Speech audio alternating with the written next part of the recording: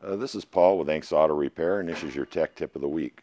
We're coming into fall and, and, and pro probably more rain than we're used to. Wiper blades are a big factor. We forget they're on the car.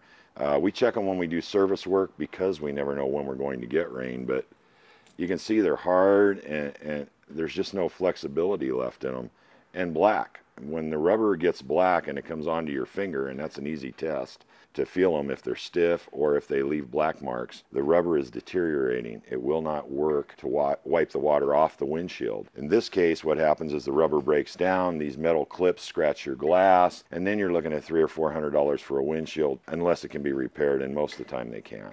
Uh, this is a very inexpensive repair. Most people can do themselves. Even the parts store will replace them for you in most cases. Probably $24 top This is your tech tip of the week. This is Paul at Anks Auto Repair, 727 8221. Thank you.